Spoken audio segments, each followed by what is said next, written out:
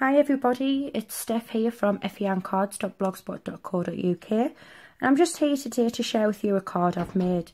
This is my first card making tutorial on YouTube, so hopefully you'll like what I've came up with. Um, this I think is really beautiful, I love this Blooms and Bliss DSP and then the glimmer paper just makes it pop, I think it looks beautiful.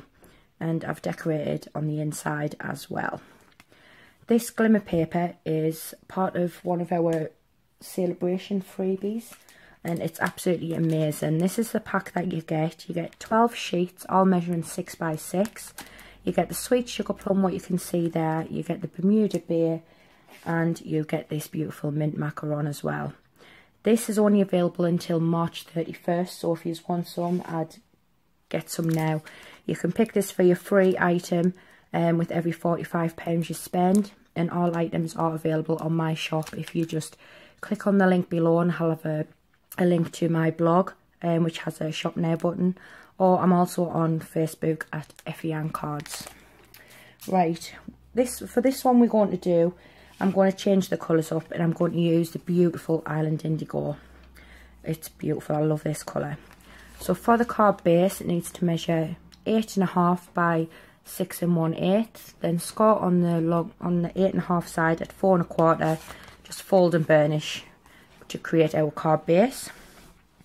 Then what we will need is a oh getting wrong a piece of glimmer paper in the mint macaron and this measures four inches by five and seven eighths and that's just going to layer on top like that then we have a piece of DSP. I'll just make sure I've got the right one. Yeah, here it's here. This one is from the Blooms and Bliss, Blooms and Bliss um, Design Series paper stack and it's absolutely beautiful. Double-sided as well and they all coordinate just beautifully together. This one measures three and three quarters by five and five eighths. And then that will layer on top as well. Excuse me. Then I've got a couple of layers here for the inside of the card. This again is from the Blooms and Bliss DSP and this measures 4 inches by 5 and 7 eighths and then just a piece of Whisper White cardstock which measure, measures 3 and 3 quarters by 5 and 5 eighths. So what we'll do is we'll pop these to one side and then I'll show you how I made it.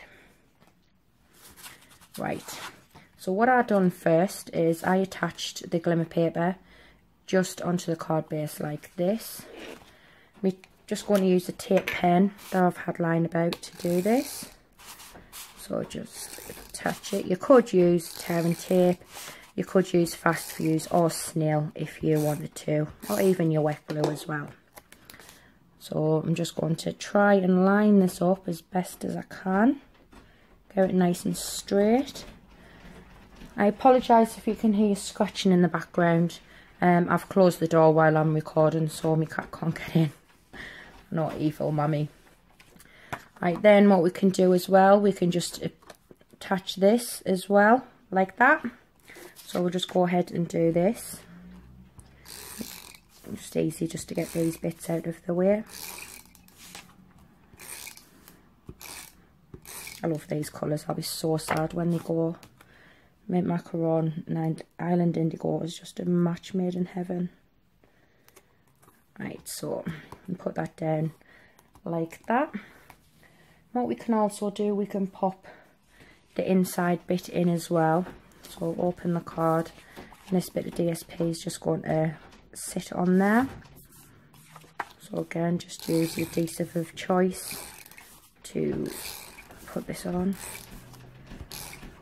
oh cat's gone mental. He likes to be nosy. He'll probably go in a minute and make, gonna make a show of himself, as per usual. Right, what I'm going to do is I might as well go ahead and stamp. I'm going to stamp a sentiment on this bit here. And we'll do that before we adhere it down. So the stamp set I'm using for the inside is actually from our Blooms and Wishes. This mat matches the DSP perfectly and what I'm using is I will be lost without you because I don't know about you but you know my mum is she's my best friend and I'd be I would be lost without her That just goes without saying. I'll just get me block. Mount that up there. Then what I've got is I've got some Island Indigo ink. Let's see how much of this I can get all over myself. Just tap it all, make sure that it's covered. And then just pop it right in the middle or wherever you would like it. And there, I think that looks really, really lovely. I'm just going to quickly clean my stamp with my Stampin' Scrubber I've got off to one side. So bear with me, because I will need this block. Put that stamp away before I lose it. So again, I'm just going to use my tape runner just to put this on on the inside. And then we don't have to worry about the inside, we can just focus on making the outside as beautiful as we can. So once again, just up, and I think that looks really nice. So then what I went ahead and done is I've got some of these delicate doilies in the white, and these are absolutely beautiful. What we're going to do is we're going to cut them in half, and then we're going to make them into this sort of cone shape, because these are then going to layer around like so on the card and then we're going to attach some shapes to it as well. What I've used for my my die cut pieces, I've die cut two of these in Island Indigo and these are from the Layering Circles Framelits dies. These are such a bargain, such a good value for money. And what I've used is I've used, oh, sorry I'm out of shot. I've used this scalloped edge one here and that's just for that to give a nice little border. Oh, knocking everything all over. Mind that out of the way. And then, I don't know if you got our fabulous Stitch Shapes framelits. I absolutely love these. The detail that you get. You know, I don't know if you can you can see, but it just the little stitched edge and it, I think it just finishes it off. It's absolutely beautiful. You get a set of your squares. You get four squares four circles and four ovals as well and all I've used is I've used the second yep the second biggest second smallest sorry um for that to do my sentiment so what we'll do is we will do I'll show you how I done our doilies first just get your scissors and just cut this roughly in half and then what I like to do is I like to fold it here. Um, just so it's going to be quite symmetrical. I would try and be as careful as you can because I did rip some of these on my last project. And these are my last ones so I can't, I need to put some more on my order. Um, because they are beautiful. It's not something I used all the time, but they were a gift from my upline Anne Melvin, who is Anne's Happy Stampers.co.uk. And I never thought I would use them, but they are absolutely beautiful. Right, what I'll do now is, I've got one of our scallop circles here. I couldn't think of what I was saying there. And all I'm going to do is I'm just going to apply a little bit of adhesive all the way around just to give it something to stick on. And then just get your doilies, oh, make sure I'm in shot, and just lay them up where you want them to sit. Try and space them out quite evenly so, you know, you're to have enough to go all the way around. And absolutely love this. I think it just adds that little bit, a little bit extra um, to your card. And these are quite cheap as well in the catalogue. I think it's £2.75. Oh, I haven't done that very well. Let's take that off. I need to space them out a little bit more. It's because I was talking, I wasn't paying attention to what I was doing. Kind of have them where the cock hiding a bit wonky. I need them to so I've got enough to go around. Oh, that's what I want obviously you'll be able to do a much better job at this than I'm actually doing at the minute. Just it's just all about placement. Luckily my adhesive isn't mega mega strong otherwise I might have been in a bit of trouble trying to you know put this back on so there. So that's going to sit on the card like that. But before we do that this is why I had the second one of these and I'm just going to apply some adhesive and stick that onto there just to make sure that they're not going to pop out or come loose. So you just want to lay that over the back like that and then just press down oh. And then that just goes on there like that. So what I'm going to do is I'll go ahead and I'll just use some of my liquid glue Tombow. Anybody who's been watching my videos know that this is one of my favourites it's amazing glue. I'm just going to try and pop it down quite centrally if I can. Just pop that down there and just keep hold of it for a couple of minutes because as you know Tombow just takes a couple of minutes to to stick. Right though that's it. Our card is coming together really really nicely. Now what we'll do is we'll take our stitch shape framelit and I'm going to stamp the sentiment in here. I'm going to use Island Indigo ink again but the stamp set I've gone for this time is this a thankful life and this is a hostess set. You can actually earn this for free um, with your rewards for every for an order over 150 pound um, and I just love it. This is a three-step stamp with to do your flowers in the vase. I haven't actually used them bit yet but it's this sentiment I absolutely love it. It's not who we have in life but who we have in life. It's not what we have in life sorry but who we have in life that matters. And I think that's a really really I love that saying I think it's just so true. God, my problem's getting worse, isn't it? I do apologise. Right, so I'm just going to ink this up using the Island Indigo ink. And I'm just going to try and get this centre without getting my head in the camera. I'm not bothered if it goes a little bit off over the stitched stitched edge. Oh, oh, and that hasn't. That's a perfect fit. I think that looks really, really, really, really nice then what I'm going to do is I'm going to put my ink away before I put my fingers in it. And then I'm going to use some of our Stampin' Dimensionals and just put a few on the back. I'll just put four on. Probably more than I need, but at least I know it's not going anywhere. So just take them off. Rubbish to one side and then just bring your card back in and just go it as centre as you can yeah. right there we go and that's with our sentiment just think it's gorgeous love it right now what we're going to do is I've got a scrap piece of Island Indigo and also a scrap piece of Whisper White and I'm going to stamp up another sentiment which I'm afraid I've used from another different stamp set. I've used three in total on this. And this is the Oh So Succulent.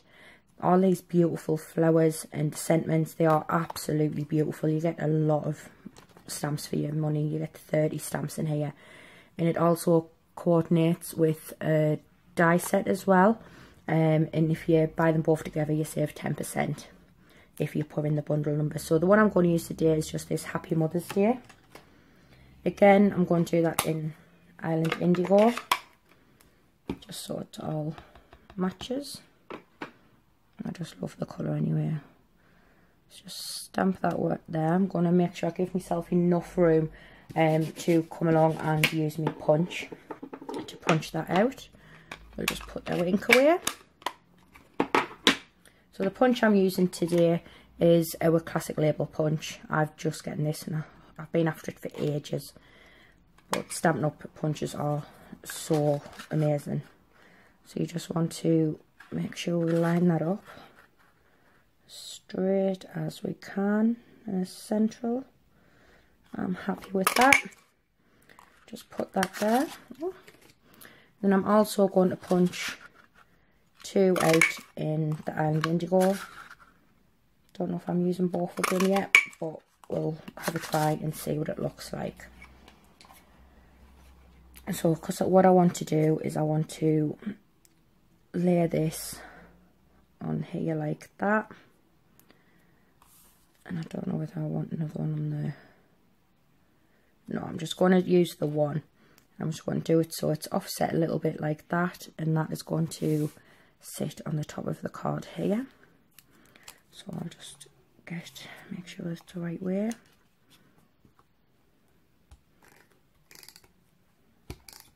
Like that getting rid of all the adhesive on me. Grid paper. And what you want to do is you just want to layer it up so it's slightly offset. Like it's not exactly straight but I do think it just looks nice. Also because for the classic label it's just too narrow for our dimensionals. So what I do is I just snip along here which is the edges if you can see that. And these will fit on there with no problems whatsoever. I don't want too big. No that's fine. So just stick it on the back like that. Take off the release paper pull this down so I can make sure I'm getting it, getting it central. And that goes on there like that. Right what else I've used here for the front of the card is this beautiful ribbon. This is another celebration item and it's the metallic three quarters of an inch sorry three eighths of an inch um, metallic combo ribbon. It comes this one. This one's the white with a bit of silver through and the other one is with a bit of gold. And again if you every spent 45 pound you spend you will earn a free celebration item up until march 31st this could be yours as well. It's beautiful. I've stocked up on mine. So what I've done is, because I'm really crap at making bows, I made mine off camera so I wouldn't get, I wouldn't get, um, yeah, I wouldn't get flustered. And that's just going to sit on the bottom here. I have forgotten to bring my glued mini glue dot, so I'm just going to try and attach it with a bit of Tombow. Hopefully the Tombow will will work and just press and hold that.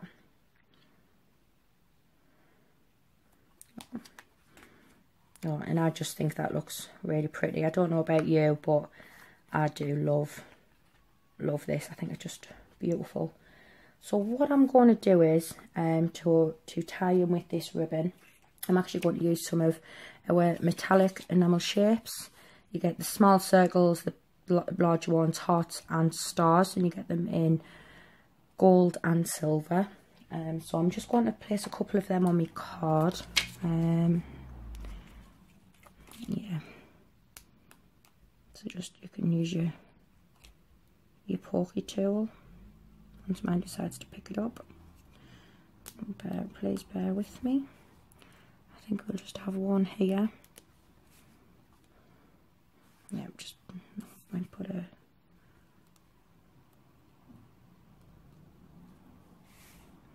fit on the end. Um, I'll just put one there in the top corner like that. And then I'm also going to go and put a couple just around around the sentiment here. Heart, and then we'll use one of the the larger dots here. And then just a smaller one. I think that'll Hmm. Just trying to think where I want it. I'll just pop it here. There we go. So I'll move them to one side. And that there is our card all finished. Um, last but not least, what I like to do as well is I like to decorate the envelopes so they match a little bit. And these are the envelopes I've been using. They are Whisper White to C6 envelopes. And you get 40. And you know, the beautiful, lovely and smooth, great quality. So what I'm going to do is I'm just going to pop this on here and then get the Blooms and Bliss stamp set again. And I'm just going to pick a couple of flowers um, that I'm going to use to decorate this. I think I will have this one and maybe try this one, see what this one looks like. So, just for you guys at home, I've actually chosen this one here and this one here. Just going to mount them onto my blocks. Keep on swapping and changing these are me, me little Stampin' Up blocks that I have. I've got these in, these not actually ones like the ones that's lettered. These are the ones that came with the watercolour wish watercolour wishes, I think it is, kit and the Oh Happy Day as well. They were absolutely beautiful.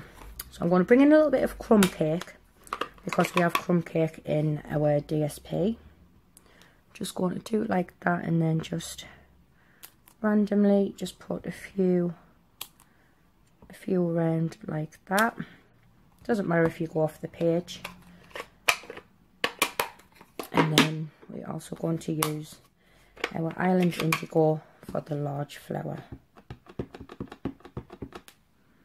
just going to see how that stamps before I actually stamp it on. Right, yeah, I, I like how that looks. So we'll just pop that on there like that. And I think it just finishes off. Nice to have a matching envelope. Well, anyway, that's me first card done on YouTube. I really hope that you like it. Um, and don't forget that anything, if you want to purchase any items, you can do so on my blog. There's a shop now button, or you could do it via my Facebook page, EffiAnn Cards. Thank you for stopping by and thank you for watching. Bye for now.